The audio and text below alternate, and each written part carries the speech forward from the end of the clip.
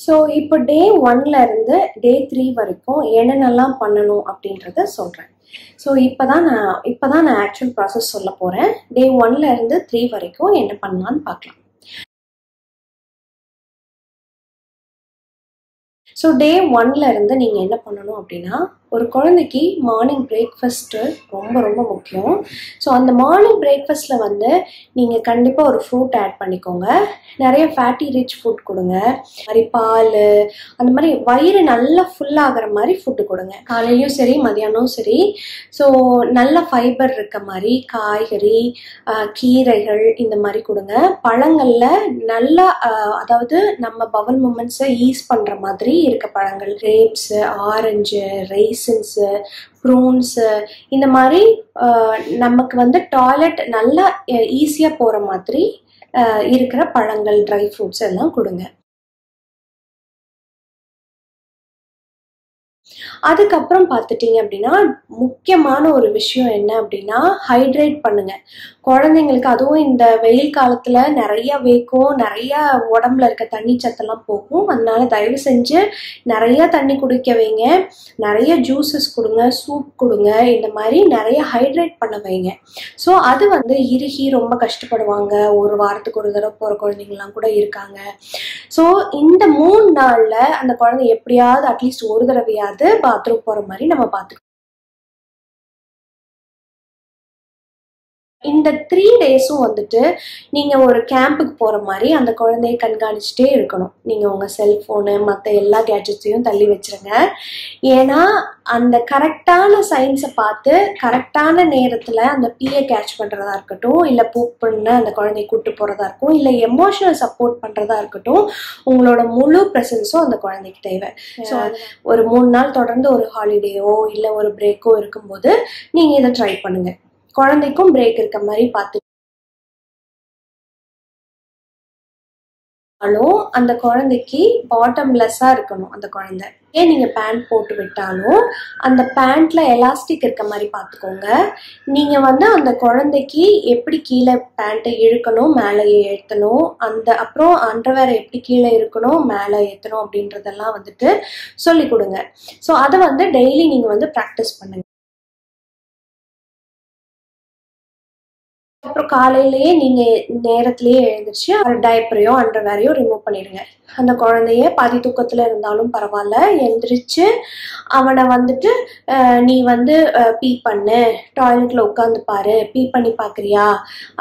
இல்லாட்டி அவன் கால்லையோ இல்லாட்டி அந்த பிபிலையோ கொஞ்சம் தண்ணி ஊற்றி பாருங்க. கண்டிப்பாக குழந்தைங்கள அந்த ஃபஸ்ட்டு பீயை கேட்ச் பண்ண முடியும் நம்மளால ஸோ குழந்தை ஓரளவுக்கு ரிலேட் பண்ண ஆரம்பிச்சிருவான். அதுக்கப்புறம் என்ன பண்ணுங்கன்னா கொஞ்ச நேரம் கொஞ்ச நேரம் அண்டர்வேரை போட்டு விடுங்க. அதுக்கப்புறம் எவ்ரி ஒன் ஹவர் நீங்கள் கண்டிப்பாக செக் பண்ணி ஆகணும். அதுக்கப்புறம் என்ன பண்ணுங்கன்னா ஒரு ஹாஃப் அன் ஹவர் கழிச்சு அந்த அண்டர்வேரை கழட்டி விட்டுருங்க. ஏன்னா அண்டர்வேரை வெட் பண்ணக்கூடாது சாயில் பண்ணக்கூடாது. இது இம்பார்ட்டண்ட்டான ரூல் சரி இப்போ நிறைய குழந்தைங்க சாயில் பண்ணிட்டாங்க இது பண்ணுறாங்க accidents can happen so next வர டைமில் நீங்கள் வந்து தயவு செஞ்சு அந்த குழந்தைக்கு வெர்பலாக அதே மாதிரி நான் சொன்ன மாதிரி கிளீனிங் ப்ராசஸில் கூடயே வச்சு அந்த அந்த குழந்தைக்கு வந்து வெர்பலாக சொல்லுங்கள் குழந்தைய வந்து அந்த மூணு நாளும் வந்து ரொம்ப வெளியே கூட்டிட்டு போகாம ஷார்ட் அவுட்டிங்ஸ் மட்டும் வச்சுக்கோங்க. ஃபார் எக்ஸாம்பிள் இப்போ ஒரு குழந்தை வந்து ஒரு ஃபர்ஸ்ட் டே மார்னிங் வந்துட்டு பீயை கேட்ச் பண்ணிட்டீங்க. அப்படின்னா அதுக்கு அடுத்தது ஒன் ஹவர் வரைக்கும் அந்த குழந்தை பீ பண்ண மாட்டா இல்லையா? அந்த ஒன் ஹவர்க்குள்ள நீங்க எங்கேயாவது கூட்டிட்டு போயிட்டு கூட்டிட்டு வந்துருங்க. ஸோ இருக்கும். ஒரு அண்டர்வேர்ல வெளியே போகும்போது அவங்களுக்கு கான்ஃபிடென்ஸும் இருக்கும். அது ரொம்ப முக்கியம். ஆக்சுவலாக அதை டெவலப் பண்ணுறதும் பட் நம்ம நெக்ஸ்ட் பிஏயும் நம்ம கேட்ச் பண்ணணும். அட்லீஸ்ட் த்ரீ டேஸாவது இந்த சைக்கிள் இருந்தால் நம்ம குழந்தைங்க சீக்கிரமாக ட்ரெயின் ஆகிறதுக்கு சான்சஸ் இருக்கு. போனாலும் சரி ஒரு ட்ரை பேண்ட்டு அதை க்ளீன் பண்ணுறதுக்கு ஒரு அண்டர் ஒரு ட்ரை அண்டர் வேற நீங்கள் வந்து ஒரு பையில் போட்டு எப்போவுமே கூடயே வச்சுருங்க. ஒரு பிளாஸ்டிக் பேக்கையும் வச்சுக்கோங்க. வெட்டானோடனே அந்த பிளாஸ்டிக் பேக்கில் போட்டுட்டு அடிச்சோ இது டர்ட்டி ஆயிடுச்சு நம்ம வந்து நியூ கிளாத்ஸ் போட்டுக்கணும் அப்படின்னா அந்த குழந்தைங்களுக்கு ரெஜிஸ்டர் பண்ணுங்கள் எங்கே போனாலும் இது கண்டிப்பாக எடுத்துகிட்டு போங்க. நைட்டு தூங்க போறதுக்கு முன்னாடி கண்டிப்பா அந்த குழந்தைங்கள வந்து பீ பண்ணிட்டு தான் நீ வந்து பெட்டுக்கு போகணும் அப்படின்ற மாதிரி ஒரு ரூல் செட் பண்ணுங்க. எக்காரணத்தை கொண்டு குழந்தைங்க பீ பண்ணாம பெட்டுக்கு போகவே கூடாது.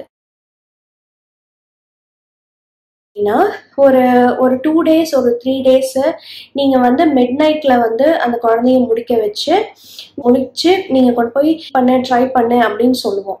ஸோ அந்த குழந்தை என்ன ஆகும்னா பீ பண்ணுவான் அதுக்கப்புறம் ஒரு டூ த்ரீ டேஸ் நம்ம எழுப்பி do you want to pee அப்படின்னு கேட்டால் நோ அப்படின்னு சொல்லிட்டு திருப்பி படுத்துருவான் ஸோ அந்த குழந்தை த்ரூ அவுட் த நைட் வந்து பீ பண்ணாமல் அவங்க கண்ட்ரோல் பண்ணிப்பாங்க. எனக்கு தூக்க தூக்க கஷ்டம்லாம் இருக்கும் இல்லைங்களா? ஸோ அந்த மாதிரி இருக்கிற குழந்தைய நம்ம நடுவில் எழுப்ப முடியாது. ஸோ அந்த நேரத்தில் மட்டும் நீங்கள் நைட் டைம் போடணும் அப்படின்னா புல்லப்ஸ் வாங்கி போட போட பழகிக்கோங்க. ஏன்னா அதுவும் கிட்டத்தட்ட அண்டர்வேர் மாதிரி இருக்கும்.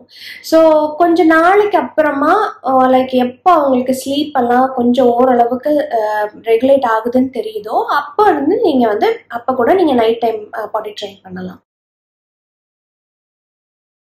ரிவார்ட்ஸ் வந்து ஒரு சாக்லேட்டோ இல்லை வந்துட்டு வேற விதமான இப்போ ஒரு பொருட்களோ வாங்கி கொடுக்குற மாதிரி கொடுக்காதீங்க. ஏன்னா ஒவ்வொரு டைமும் அவங்க பீயோ பூப்போ பண்ணிட்டு வந்ததுக்கப்புறம் அதை ரொம்ப எதிர்பார்ப்பாங்க. ஸோ அது வந்துட்டு ஒவ்வொரு தடவையும் நம்மளால தர முடியுமா அப்படின்றது வந்து ஒரு சந்தேகமான விஷயம்தான். அதனால ஒரு குழந்தைக்கு அப்ரிசியேஷன் பண்றது ஒரு வார்த்தைகளால் அப்ரிஷியேட் பண்றதா இருக்கட்டும். அப்படி இல்லைன்னா ஒரு ஹக்கு ஹக்கு கொடுங்க வா குட் ஜாப் ஒரு ஹைஃபை கொடுங்க. அப்படி ஒரு ரிவார்ட் சிஸ்டம் மாதிரி ஒரு ஸ்டிக்கர் கொடுங்க. அந்த அந்த ஸ்டிக்கரை அந்த குழந்தை விட்டட்டும் அந்த மாதிரி எல்லாம் பண்ணட்டும். அந்த பார்ட்டி முடிஞ்சதுக்கு அப்புறம் ஒரு பார்ட்டி டான்ஸ் பண்ணலாம். அதை செலிப்ரேட் பண்ணுங்க. ஆனா வந்து ரிவார்ட்ஸ்ன்ற பேர்ல நிறைய நம்ம பொருட்கள் கொடுக்க கொடுக்க நம்ம குழந்தைங்க நிறைய அந்த பொருட்கள் மேல அடிமையாயிருவாங்க. ஒரு குழந்தை ரொம்ப நான் இருக்காங்க. அவங்களால நிறைய விஷயங்களை புரிஞ்சுக்க முடியாது. நம்ம சொல்ல சொல்ல இல்லை இந்த மாதிரி ஆஹ், சில விஷயங்கள் பண்ண பண்ணும்போது அவங்களால புரிஞ்சுக்க முடியாம இருப்பாங்க. அந்த மாதிரி குழந்தைங்களுக்கு ஒரு விஷுவல் ஸ்கெடியூலோ ஆர் சோஷியல் ஸ்டோரி அப்படின்னு சொல்லுவாங்க. சோஷியல் ஸ்டோரி அப்படின்னா என்ன அப்படின்னா ஒரு விஷயம் நடக்க போகுது. இதுக்கு அடுத்தது இது இதுக்கு அடுத்தது இது. இதனால யாரெல்லாம் ஹாப்பியா இருப்பாங்க? இதனால என்ன ஆகும் அப்படின்னு அந்த குழந்தைக்கு எக்ஸ்பிளைன் பண்றது தான் சோஷியல் ஸ்டோரி அதாவது ஒரு ஒரு விஷயம் நடக்க போறத முன்கூட்டியே அந்த குழந்தைங்களுக்கு எக்ஸ்பிளைன் பண்றது அந்த ஆங்ஸைட்டியை கம்மி பண்றது இந்த விஷயமெல்லாம் அந்த சோஷியல் ஸ்டோரி ஹெல்ப் பண்ணும். இந்த மாதிரி நான் வெர்பல் சைல்டு கொஞ்சம் கஷ்டமா இருக்கிற சைல்டுகளுக்கு வந்து நம்ம இந்த விஷுவல் ஸ்கெடியூலையும் இந்த சோஷியல் ஸ்டோரியும் ஒன் மந்த்து நீங்க வந்து காமிச்சிட்டே இருக்கணும். லைக் கண்டினியூஸாக ரீட் பண்ணிட்டே இருக்கணும். பாத்ரூமில் விஷுவல் விஷுவல் ஸ்கெடியூலையும் ஒட்டி வைங்க.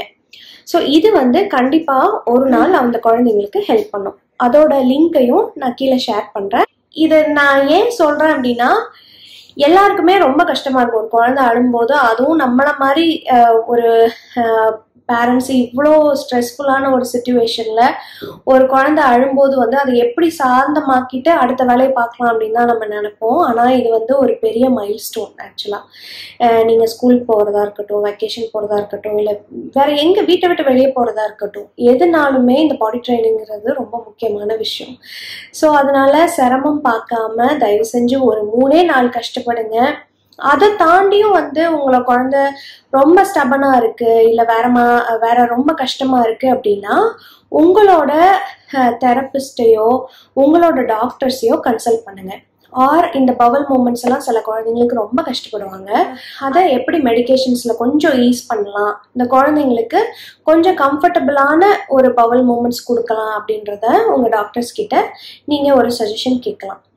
So hope you learned something new from this. Thank you so much for watching and keep spreading love